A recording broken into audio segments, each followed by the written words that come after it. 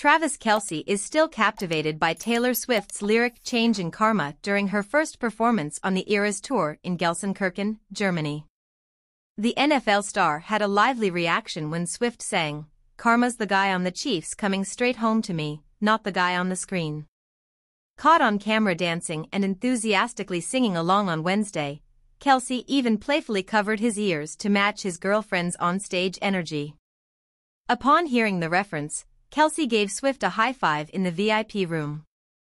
Social media users praised Kelce for embracing the fans and acknowledging the tribute. How cool of Tay Tay and Trevi to invite us all to their date in Germany, one person joked. Others applauded the former catching Kelsey star for his good sportsmanship and nurturing father-like qualities. Taylor Swift brought her Eras tour to Germany, with Kelce in attendance on Wednesday. Performing at Veltins Arena in Gelsenkirchen for the first of three shows, Swift's close friend Emma Stone also enjoyed the concert from the VIP section on the floor level.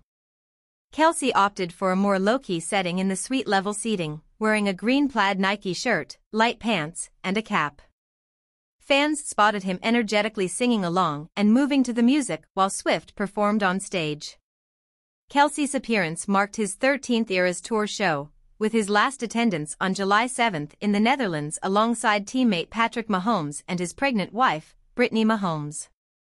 This month marks one year since Swift and Kelce's relationship began, with Swift supporting Kelce throughout the NFL season and Kelce reciprocating by attending numerous concerts across five continents. His appearance in Germany may be his final on the Eras Tour, which continues until December. On Friday, it's back to work for the Super Bowl champions as they report to Kansas City for Chiefs training camp.